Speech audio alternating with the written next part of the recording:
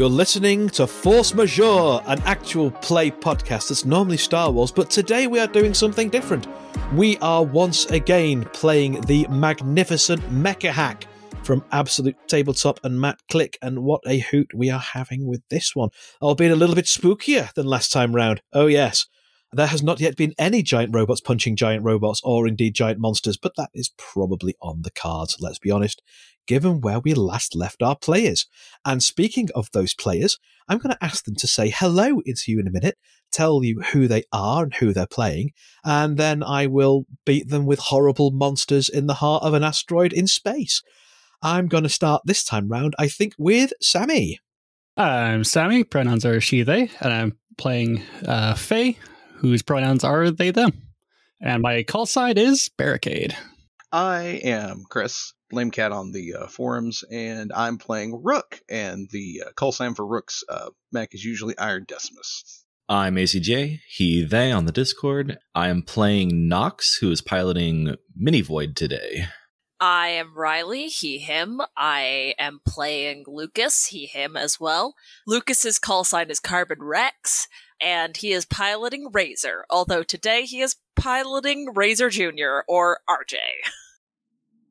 Where we last left our heroes, they are in a hollowed out asteroid that has been turned into a research and development base by the Aeonic Primacy, which they understood to have been abandoned. But having arrived there, it suggests that abandonment was perhaps not entirely voluntary for they have seen signs of terrible, bad things happening here. The asteroid is pitch black. There is no power. There is limited gravity, and what gravity there is is not obeying the laws of reality as we know it. There is something very uncomfortable and non Euclidean going on in this asteroid. True to horror tropes, our party have split themselves in a fashion that will definitely not go wrong for them we can see as our camera races through the darkness of the asteroid, lit by the magic of cinematography so that you can see what they cannot. Corkscrewing round the twists and turns of this asteroid, where corridors have been put in following the lines of ore that have been mined out in times past. We can see Lucas and Fae in a room which is 90 degrees from where everybody else is, and the gravity is 180 degrees up from where we expect because the floor is not where the floor should be for where the room is. They are clustered around a ruined generator. A discarded and severed hand from an Aeonic Primacy cyborg lies discarded on one side of this room, which is full of life support equipment, gravity generators, and similar useful things to have on an asteroid that is otherwise inimical to mortal life. With a great grin of triumph, Lucas has managed to get the generator ready to go when the rest of the fire team give the signal to fire it up. Fae watches on, presumably judging, knowing Fae. Not bad for a fleshy one. Um, however, Leaving them behind, our camera continues on down further corridors to a great shaft which runs through the heart of this asteroid, stretching up, down, and across. And across is where our camera is currently focused. There is a bridge spanning this hole. We can see Ruhk and Nox and their exosuits casting around their stab lights, which are providing the only glimmer of illumination in the Stygian darkness. Their lights have glittered off something coming towards them from the other side of the bridge. Many somethings, in fact, small and chitinous, and chittering and moving with great speed.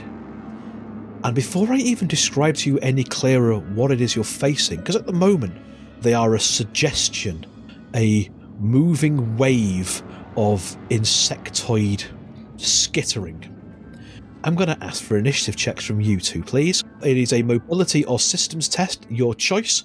If you succeed, then you go before the enemies. If you fail, you go after. Combat will apply here if you have that skill.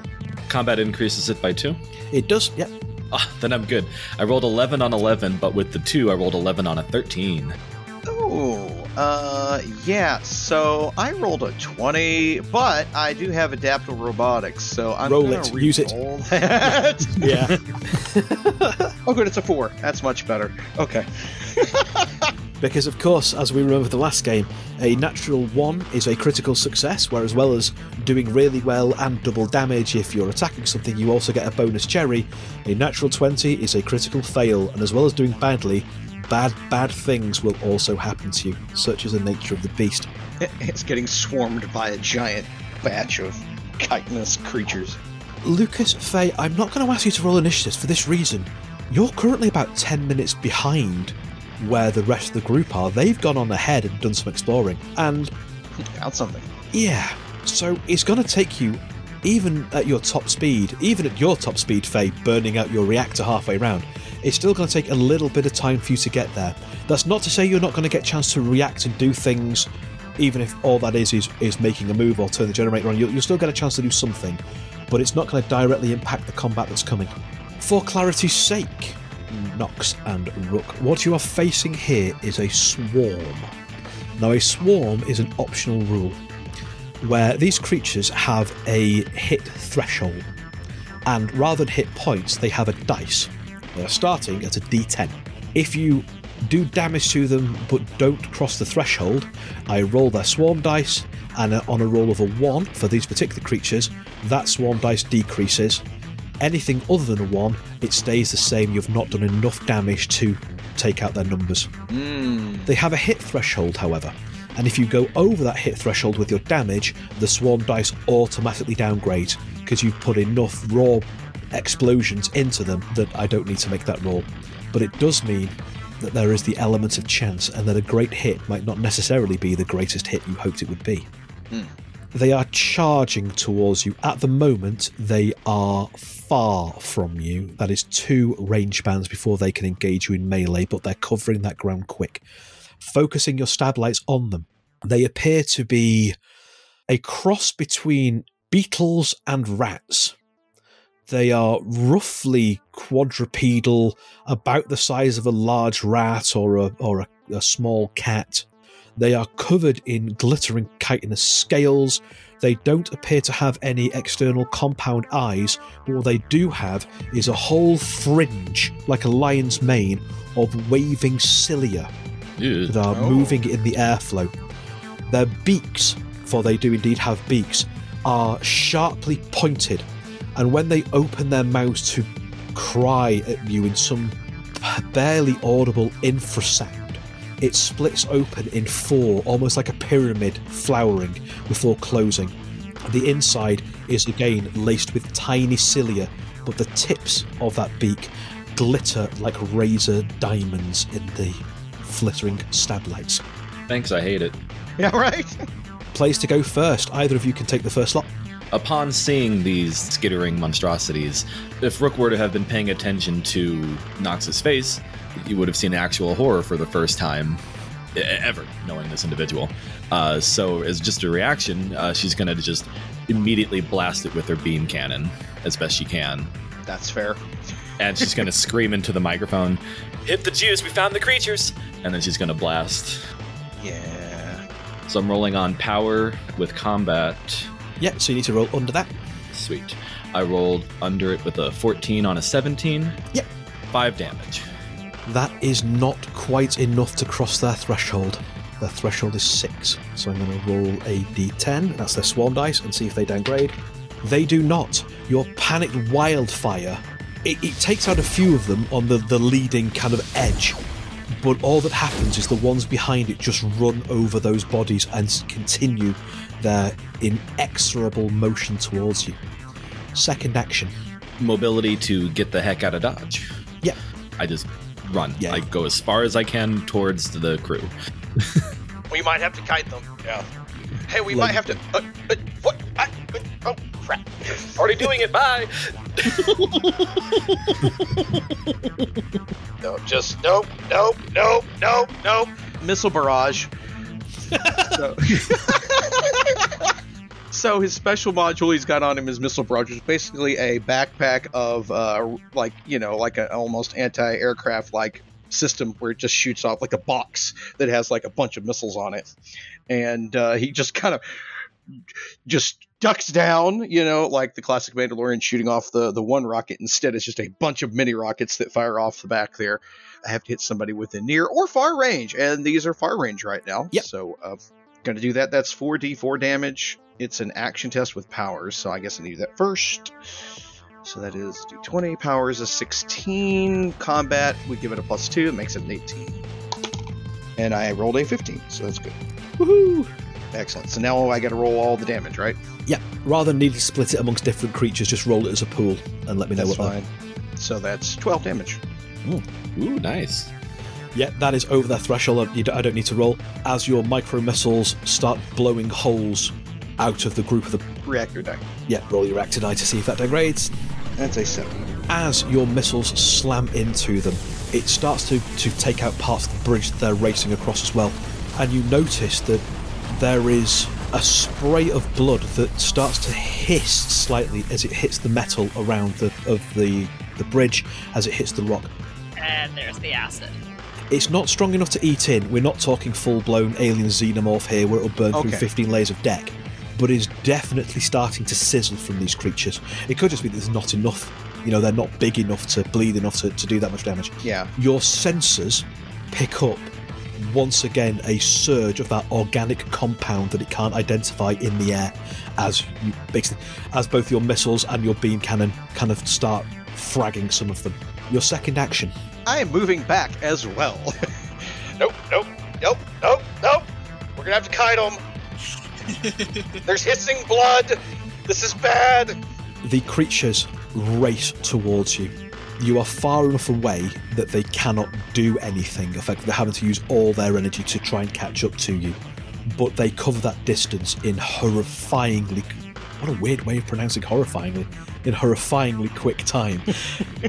they are terrifyingly fast. And as they get into the opening of the tunnel that you're frantically backing down, they split up as well, starting to cover up the side of the walls as well. This, this tide, now there's more space than to spread out. It means that the ones at the back can move forward in.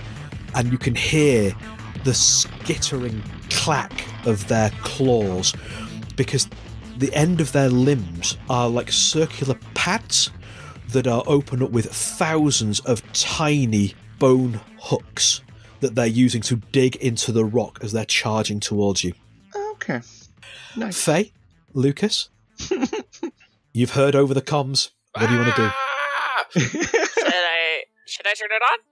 Should I turn it on? Yeah, turn it on. Let's uh, see what happens. We're doing science. Alright. There is a slowly rising hum that you first of all feel in your bones before you start to be able to hear it. And then, slowly, dully, the running lights start to flicker on.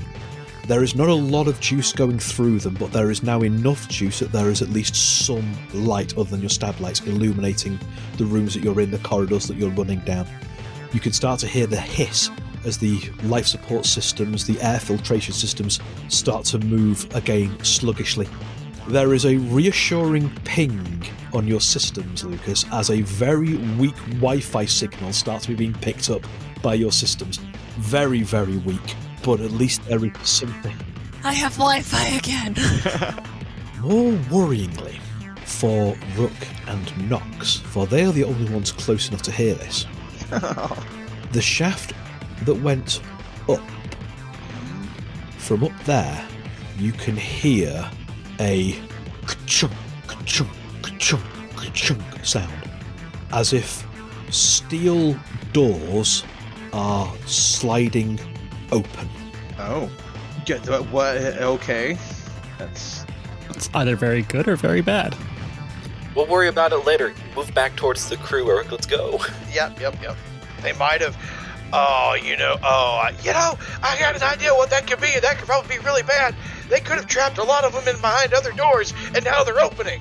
Yeah, Lucas, get eyes on those on that map if you can get one. Uh, start shutting off doors if you can, especially behind us. Try to separate just- us from yep, these critters. Yep, yep. I'm working on it. Type, type, type, type, type. It's not something you can do immediately, um, so it will take up the rest of your turn as you try to jump on their Wi Fi.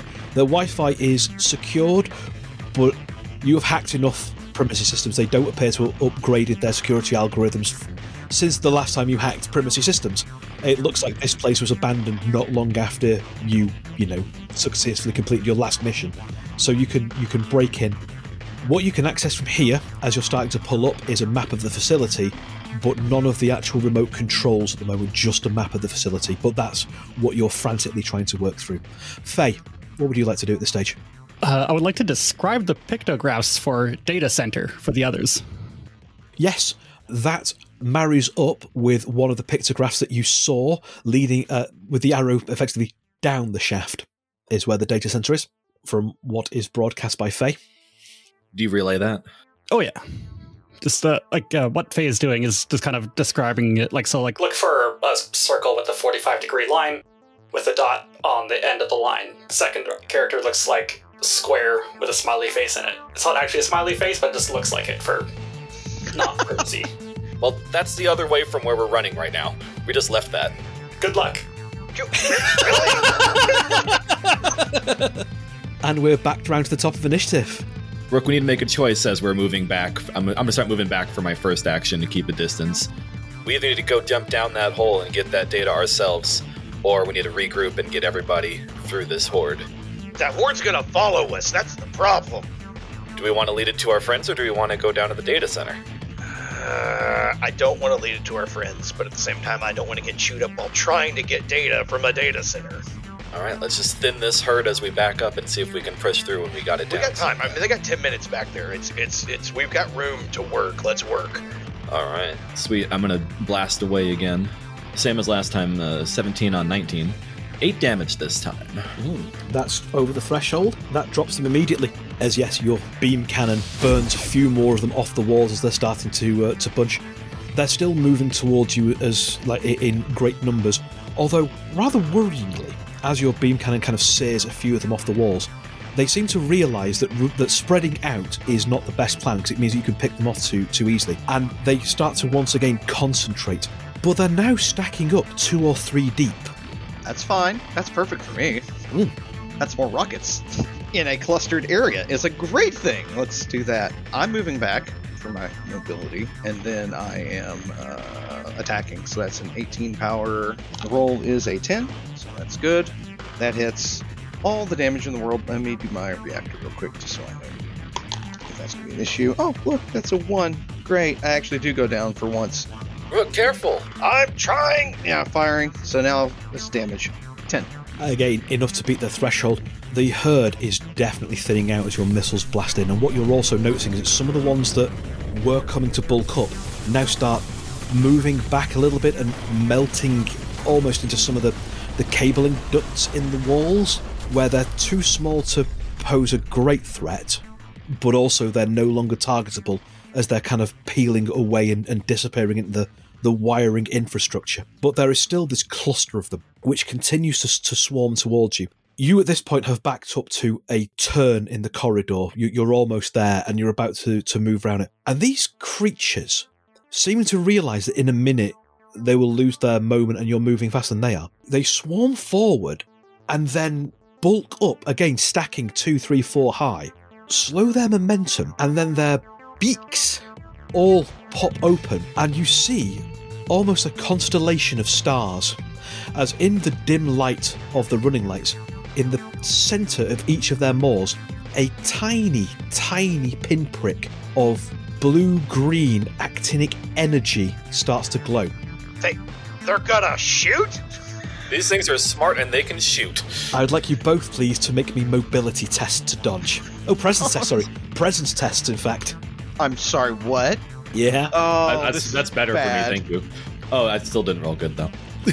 This is bad. I have to roll under a 9. Oh, no. I got excited, like, oh, I just have to roll under a 14 as I proceed to roll an 18, I actually rolled a 9. which means you If my fail. presence is a 9 and I rolled a 9, what's that mean? It's a fail. You fail. You've got to roll under. Darn. Okay. So we both fail. We're both caught off guard by these Yeah. with a freaking laser beam. And you both take five points of damage each. Oh. As these, yeah, but It reminds you in some ways of Razor's Morby, which you've seen Razor use, but the colour is wrong and the signals it gives off that your, your kind of senses get briefly overwhelmed and as they hit you like you see the kind of bluish yellow sparks of bioelectricity kind of flicker around the shells luckily there are faraday cages built into your exosuits which stop you yourself getting fried. But yeah your mecha warning lights start to flash for a second or two before they die down again. Steam is rising from your mecha as yeah these things have have and having now vomited that combined bolt of energy, super laser style at you, they then drop back down to a single layer as they continue moving towards you with speed. You do notice that some of them, that appears to have been all they, they could do, and they have kind of collapsed lifeless at the back of the swarm. Wow. Does that lower their uh, swarm die? It does not, because I rolled a three. Okay. That ate up all my armor. I had five armor. It all Yeah, me too. And we just kind of look at each other. Run. Yeah. Run. Wait, do we want to run forward or do we run back? Like jump over them? Uh, yes. Okay. We need that data, and the faster we get it, the faster we can leave. They've definitely thinned out numbers wise. Okay. Definitely thinned out numbers wise. I have a plan. It's not a good plan. Lucas and Fae, you got a really weird, uncomfortable burst of static feedback across the comms from Ruhk and Nox a few seconds ago. Ugh. Sit rep? Uh, we're gonna go get that data. Um, gonna go try to blast through this last horde, this last wave. Watch yourselves, they're in the walls. They vomit like razor. Ah, got it. Super. Sounds delightful. If y'all can start making your way towards the exit after we get most of the way towards our goal, that'll be safer. Just watch again the ducks in the halls. Okay, so we head towards the exit. I'm a little bit worried that the generator being on will draw whatever has been uh, attacking Nox and Ruhk. Uh, so we should. Okay, sounds good. Let's see if we can seal the vents as best we can and start moving toward the data center. We'll meet them there. I thought we were heading the other way. Or we can do that. Whichever works. They said something about securing the exit. Yeah, we'll uh, clear a path from the data center out to the, the front door and uh, make, it, make it ready for them to catch up. Sounds good. Ruhk and I are screaming in the other hallway. Click, off goes the comms. That's boring conversation anyway. You know they're not gonna do that, right? I'm just, just, I'm just trying to get him to do something. Yeah, yeah. It's okay. All right, let's work together. We can get through this. Don't tell them I'm panicking. I promise I won't. Lucas is gonna keep uh, working on the data stream and seeing what he can hack into. You've managed to pull up a map. It is all marked up in uh, Aeonic Primacy data glyphs again, but presuming that Fae's going to help out with the translations there? Oh yeah. Yeah, you managed to, to translate it into Terran. It clearly marks out the, the, facility itself, which is very small and appears to be almost spindle in shape, basically around this shaft, with the main data banks and the main research facility being. Obviously, it's an asteroid floating in space with, with weird gravity effects, but the bottom of the shaft is the data center and is the science labs. The top of the shaft is marked as Voidmaw Testing Site A. hmm. Hmm. Well, uh, that's probably the origin of uh that. and across the bridge where this swarm has been reported as coming from is effectively the living quarters. They were snacking.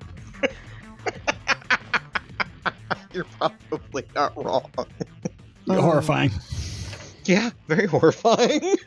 But yeah, and if you want to pop that map up on everyone's heads-up display, I'm fine with that. You're, Yeah. you're in the shared system, so yeah. Suddenly, all of you get a little mini map on your hood. and suddenly, instead of the living quarters has been marked out as snack room. That's translation error. Great work, Lucas. Thanks for getting that up. Yeah, thanks. Appreciate it. There you go. Good luck. All you did was proof that we still have to go through this freaking swarm of crazy things. Ah! And Fae, what are you doing as we keep the camera on you briefly? Uh, aside from translating, mostly just uh, taking point. If we run into a separate horde, I want to be able to be ready to protect the squishy. And just so I'm clear, are you making your way towards the data center to rejoin the rest of the party, or are you making your way back to where you came in to basically secure your exit? now that we have a map, uh, my plan is ideally two exits out of the data center. So team data can go in, get the things, and just kind of keep moving away through a second exit, and then we can clear the back exit. There isn't a second exit on this asteroid. There is only the one way in and out. Oh, oh sorry, of the data center room. Making your way to rejoin these, at least I suppose possibly you, you could beachhead at the top of the shaft, basically the spindle. So as they go down, you've got eyes on what's going on there, perhaps. Yeah, I think that might be the best plan then. Regroup at the data center. Yeah. That's securing the exit because it's securing the first exit we need out of the data center. That Yeah. makes sense. Yep, exactly. Okay. Yeah. I do like that you've sent us, who do not have, you know, a system, well, system intelligence, uh, to go hack the uh, data center. It's, it's great. Well, I mean, like, look, they're data cores. When you hack them, you just rip them out of the data bank. It's fine. Correction. I sent us to explore. that that's fair. That's fair. And back round to the top of initiative then. You are facing the remnants of this swarm. Okay, I like the term remnants of swarm. So, realizing that these things are defeatable, Nox kind of rallies, and contrary to her previous screaming and fleeing, she uh, sees the map, sees the destination on it, and kicks forward to go into close with them. And yeah, so get ready. Um, moves in, gets close, gets away from you because she basically wants to stomp on these rats. She wants to squishy squish and uh, jumps into the throng and uses her quake generator attack. Oh, nice. you actually, yeah, you're equipped for this. I'm not. Yeah, it's like I've already lost my armor. po- She's already lost her armor uh, armor point, llama points, her llama points, her armor llama points. Drama llama points, yes. She's lost all of her llama points and jumps into the fray kind of maniacally now. She is she has gone from scared to crazy. But, You know, that's a very fine line, and that makes sense. You know, Yeah, Ruhk, Ruhk has seen this before. Like after getting over the initial thing, Nox just kind of goes hard. So Mhm. jumps in, tests presence, succeeds nine on fourteen. nice. The damage is supposed to be dealt to two close enemies. It's a swarm. It'll damage, it'll damage the whole swarm. Yeah. Sounds good. And I roll. Ooh, I roll max damage on that. Uh, let me roll my reactor while we're at that. I don't roll max on reactor, but so I do eight damage. Paint me a picture. Okay. Does this eliminate the horde? It does indeed, yeah. Okay, so she gets the map. She she realizes that A team and D team are working together now. Realizes that she still has her crew and she shouldn't be scared, and dashes forward, jumps into the middle of these things. And normally, when she uses her quake, it has uh, a much bigger fork on the end of her robot to do it. This time, um, the treads just kind of spin really, really fast on the bottom, and there's just you know, guts, gore, and grime from underneath as she tracks through these things, shaking the hallways around her. Like there's, you know, those particles that have been in there just like stirred up even more, and it's it's pretty visceral as she just screams and jumps into this horde. Ah! And then all the little squeaky scritters get destroyed. Excellent work. I just hope that there weren't more behind those other doors that I- were I- opening. I- I- you probably. Let's, let's get moving. That, that's Exactly my Worst case thoughts. scenario, it's more. Um, this hallway's clear, gang. Lucas, uh, Fae, catch up to us. Let's go. And so we are dropping out of initiative. Ruhk, Nox, you make your way back to the top of the shaft, and yeah, you can now see the, quite clearly the data glyphs. Between Lucas and Fae, what they've managed to do is patch into your HUD effectively like an auto translate as well. So as your cameras go over it, it kind of boop. So now you know what you're looking for. And yeah, the data core and science labs are down the shaft, and there is a curving walkway, effectively a ramp, effectively that, that kind of goes down around the inside of the shaft, leading down to the where the data core and that is. As I say, there's none from above. What you are picking up here, though, again, is odd gravity swells. Oh yeah, that.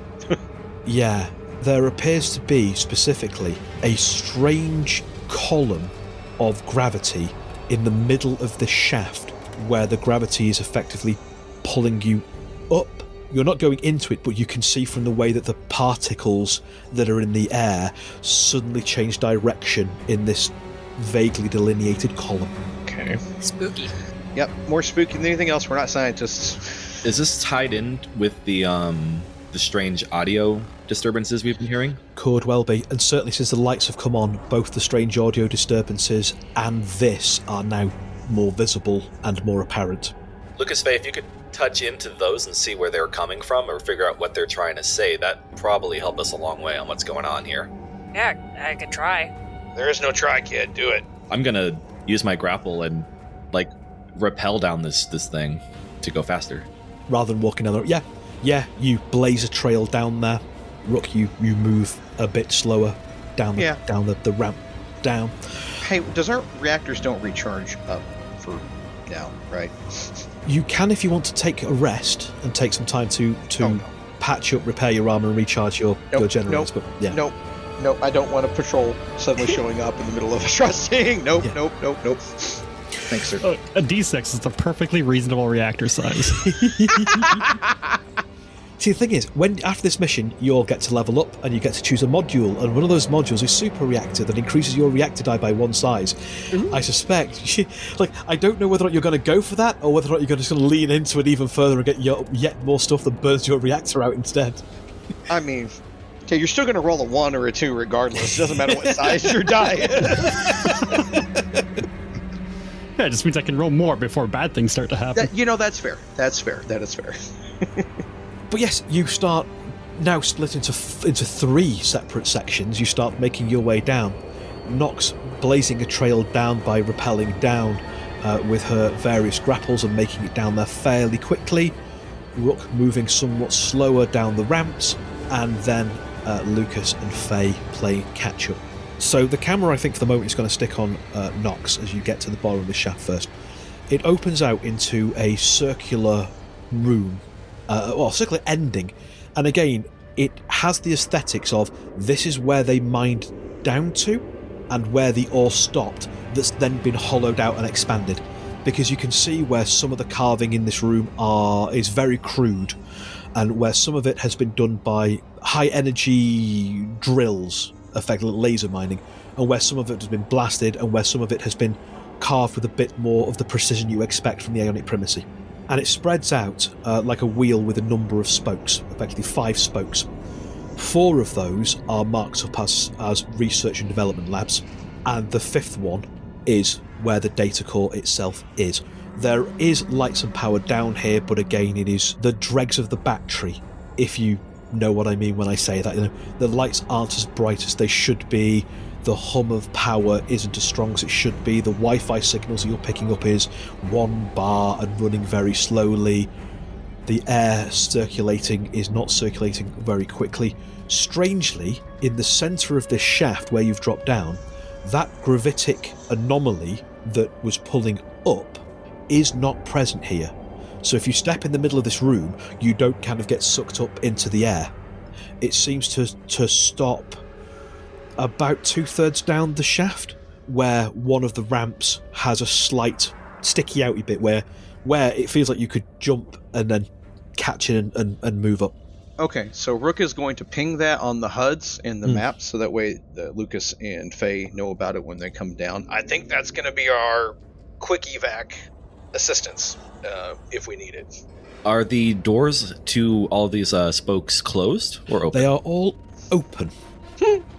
Let's close those. Yeah. Yes, uh, I get to work closing the doors. I ping up to Lucas. I'm like, Lucas, help me close these doors. We're going to keep Power Center open. We got five, four research and development doors to close.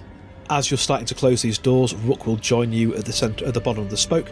And about the point that Ruhk gets to the bottom of the shaft, that's about the point that Lucas and Fae get to the the midpoint, effectively where where you came in. As you're closing these doors, it appears that they all had electromagnetic locks on them that were holding them closed. And when the power came in, they briefly released, only for maybe a second as things restarted. And in that release, it's caused them all to slide and lock open. They're not difficult to, to close, they're, they're slow, but all you need to do is hit a button and they slowly, tortuously kind of close themselves. Looking into the rooms as you're kind of closing these doors, there's no movement in there, there's no bodies in there. They appear to be banks of desks and odd technology built into the wall. Similar to when you were on the cargo ship, some of the, the weird ways their technology interfaced with things and the odd cabling choices and that. It very much has that aesthetic in these rooms. I don't know what you're talking about. It's perfectly reasonable cabling choices. When your ionic primacy people are doing R and D, how further do you go? I thought that you were perfect beings. I mean, you can always improve on perfection. Ooh, okay. Your brain's imperfect, so therefore. Is that why you became Terran? Wow. that, that was a good one. That was a good one. If I had a heart, it'd be shattered right now. You just rebuild it.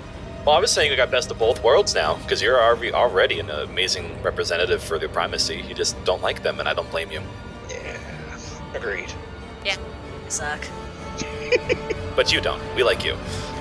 They're so easily hackable, man. Look, the passwords are procedurally generated. If you can get the algorithm down, it's, you know.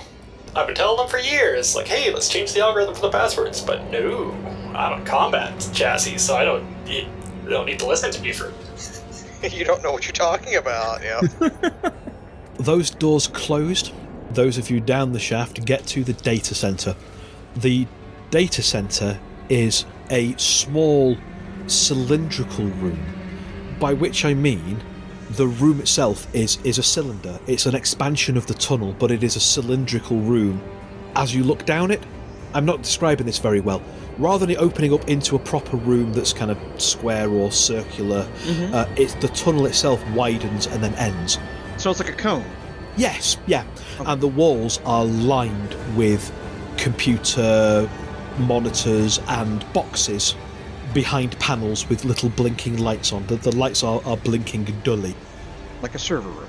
Yes, a high tech, slightly not quite human impression of a server room. Yeah. Okay. That makes sense. in the center of the cone, basically the, the narrowest part, is a uh, again it's it's a cylindrical central piece that juts out. It is about three foot long by about a foot wide, uh, about, about a foot in diameter or so. It is covered in blinking lights, and there's lots of cables that wire up into that. That's the core. That's what we. So do we just do we just rip it out? I mean, that's what I would do. Will that damage it? Just Fae? wait for us to get there. We're just gonna talk about like like so. So if I unplug this one, Yeah. nope, probably not that one. That one has a big old red mark on it. Um, yeah, yeah, Let's finish shutting these doors. Hang on. Let me go slap some more buttons. And... Okay, back to uh, Lucas and Fae. So you've you've gotten to the to the top of the co- of the staircase that the the ramp that then leads down to the data center.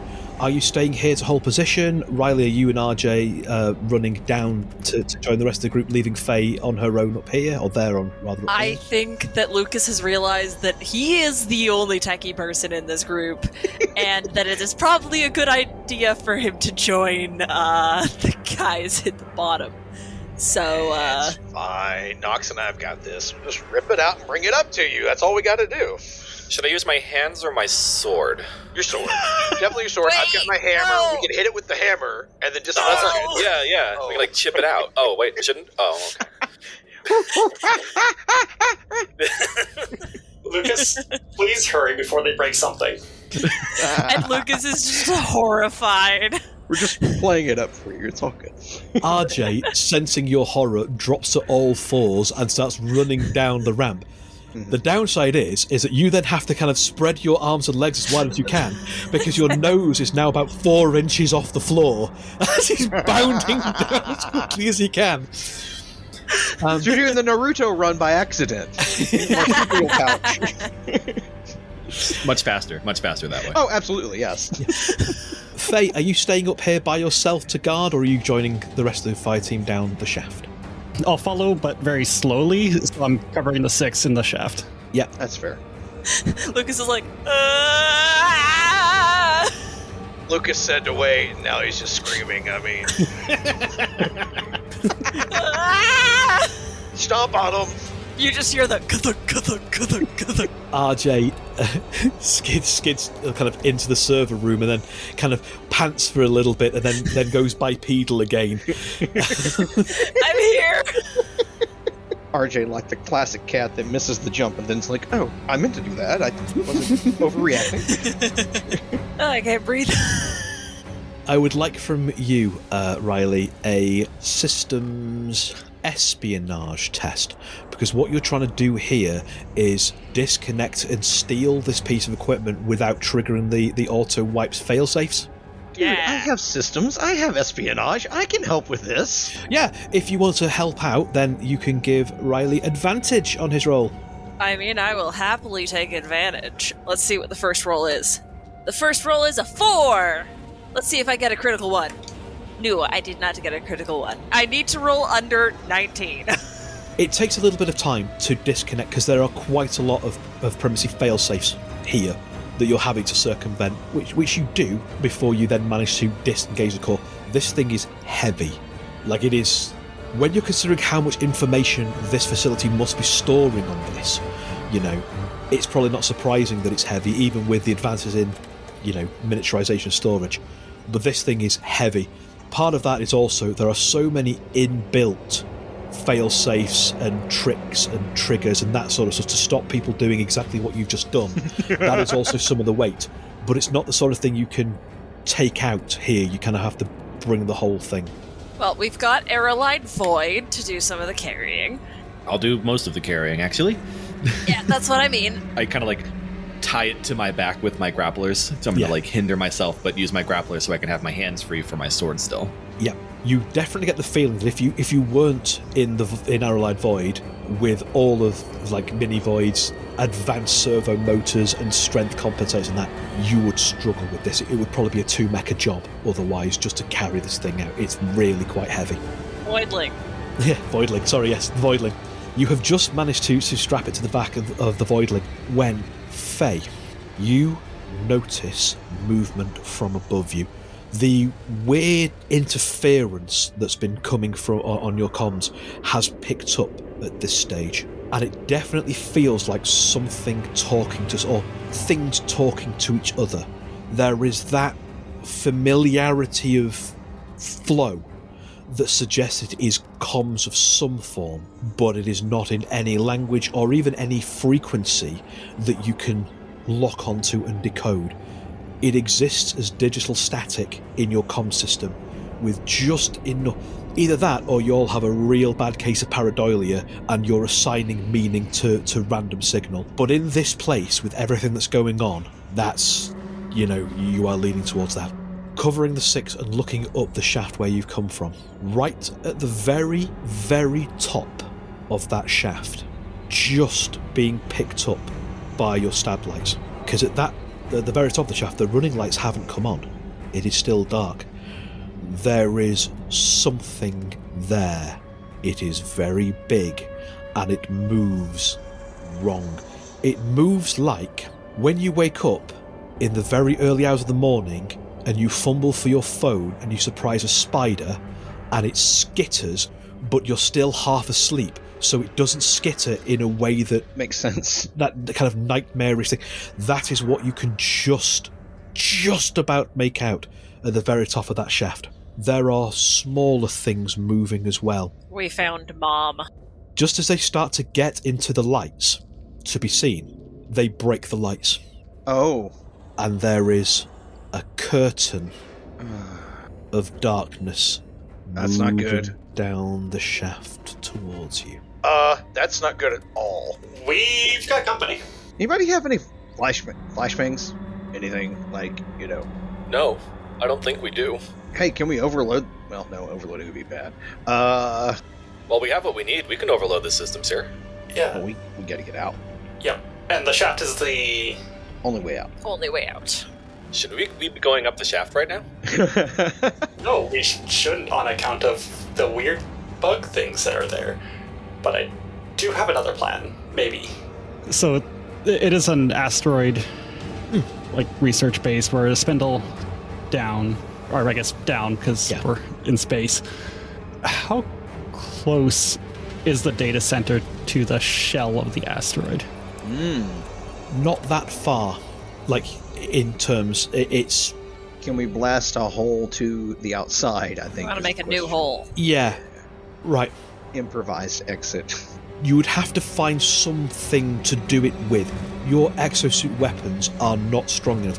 Potentially, if you can get a signal out, you might be able to get the, the slip ship to circle round, target a point, and, and shoot through it with the weaponry on that. You might be able to find something that you can use to rig into a big enough explosive to blow it out. It is, as we say in the business trade, in the realms of the possible. My plan was to try to get in touch with Valkyrie and call in an orbital strike. So, That's a great but in the meantime, are there doors in this shaft that I can start closing to try to slow them down? Not in the shaft itself, no. Only in the Oh. research rooms and uh, only in the base. What about like the shaft, the end of the shaft to the rooms where we're at? You could lock yourself in the data center, Yeah. or you could lock yourself in one of the R and D rooms. Yeah. But the actual main shaft itself does not appear to have any lockdown. I think in we should itself. lock ourselves into. I don't think we have a choice. Just out of care. Oh, we should use that. Lock ourselves in the room as a backup. We shouldn't start with that. Everyone can group up at the bottom of the shaft. We'll hold them off as long as we can. While Lucas tries to get a signal out. Yep.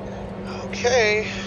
As you get to the bottom of the shaft and start getting into position, as I say, there is this curtain of darkness as these things skitter down, blow the lights, skitter down, blow the lights. They are at the bridge at this stage, just as they start to come into range of your weapons.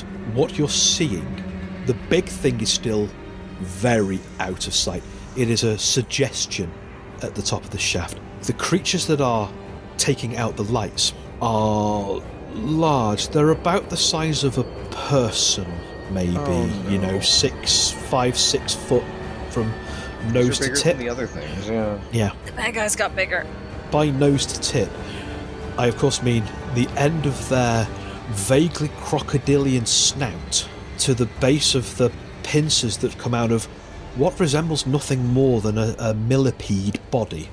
All segments and lots of legs undulating and gripping onto the wall, covered in a almost petrol in water effect shimmer across their scales. Their front limbs are long, multi jointed, but worryingly close to hands. You know, they have opposing thumbs, they have seven finger types and too many elbow joints, and they are reaching in and, and tearing the lights of the the wall, basically just ripping them down. And it's starting to, you know, there, is the fragments and sparks and bits of metal as they're dropping down. And yeah, they get to to the the bridge point, uh, and they are, they they can clearly see you, and this thing skitters. Then across your comms, there is once again a burst of that static, louder than you've had it before, and these three creatures lock their eyes on the group of you at the bottom and start dropping with great speed. And that is where I'm ending the episode for this week. Ah! You know, that's not a bad idea. I should install more elbows. Thank you very much. I don't think I did a thank you at the end of the last episode. I'll have to go back and re record one. Thank you very much to my players. You are amazing, of course. Thank you very much to my listeners. I hope you're having fun. I hope you're enjoying uh, the episode. And we will see you for the finale, hopefully, of um, Operation August Kobold next time.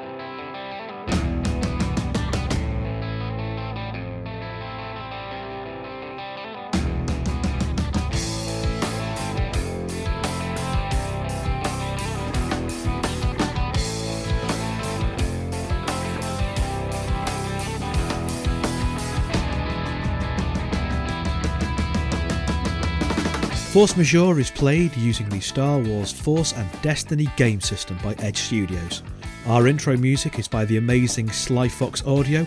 Check out more of her work at soundcloud.com slash slyfoxaudio. Our outro music is Suburban Outlaw instrumental version by Forget the Whale, used with gratitude under a Creative Commons license. Many of the sound effects and soundscapes are created using Syrinscape because epic games need epic sounds. If you're enjoying the show and want to support us, there's three ways you can do that. The first is by joining our Patreon at patreon.com slash forcemajeurepod, where for as little as $1 a month you get access to outtakes, adverts, various other stuff, and my fortnightly ramblings. You can drop us a coffee at ko-fi.com slash forcemajeurepod, or you can leave us a rating and review wherever you get your podcasts. If you want to interact with us, there's a few ways you can do that. We are on the social medias Facebook, Instagram, and Twitter as at Force Majeure Pod, and we're over on Mastodon as at Force Majeure Pod at dice.camp. You can also join our Discord, link in the show notes. Thank you very much for listening and being with us as we tell these stories. We hope you are having fun, and we will see you next time.